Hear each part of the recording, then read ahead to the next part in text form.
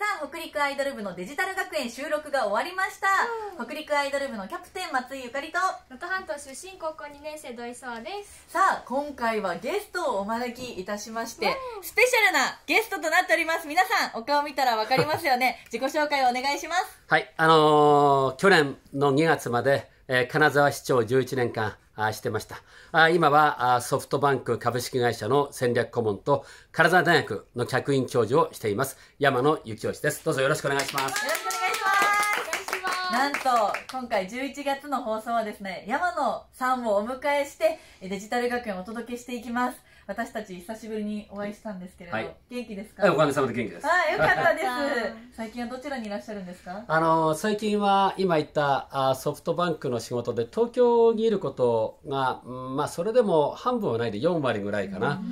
あとはあーこの金沢というよりも北陸のいろんな自治体であったり企業なんかにもよく呼ばれていろんな話をしてますしありがたいことにえー全国からちょっと来いというふうに言っていただいてますんであの何の誇張もなく本当に北海道から沖縄まであの寄らせてもらってます。あ、そうなんですね。ええはい、どんどんどんどん広がっていって。ああそうでありがたいありがたいですねうんソフトバンクの今回はお話をお聞きしたんですけれど、ソフトバンクの歴史はいはい。をお聞きしました。うんまあ1994年まではいソフトバンクにいらっしゃって、うんその後視聴されてまたソフトバンクってはいいう経歴ということで、その私たちがね生まれる前のソフトバンクのお話を聞いたんですけど、そうはどうでした？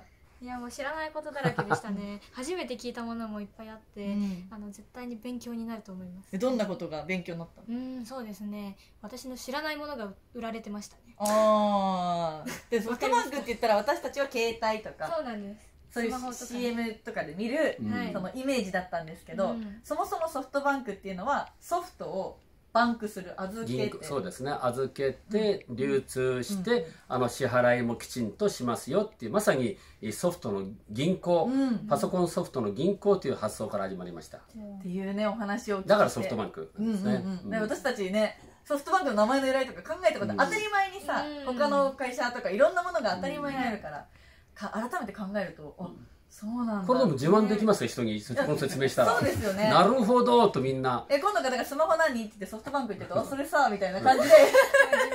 いけるなっていうのは思いますね。突拍子もなくなるんです聞いて聞いたらなるほどと思ったら、はいついなるほど確かにその通りだと思う、確かに確かに、うん自然自然な名前ですから、はいはい、はい。い、いことをお聞きえしました。僕がつけたんじゃないですよ。そうそう孫さんがつけたんですはい、けど、ええあすすごいですよね、孫さん。はい、ということで、あの本当にありがとうございます。はい。あの私気になるんですけど、はい。まあずっと金沢に住んでらっしゃったじゃないですか。今拠点とかも広がって、ええ。生活もだいぶ、あの環境も変わったと思うんですけど、はい。何かその一番変わったこととかってありますか？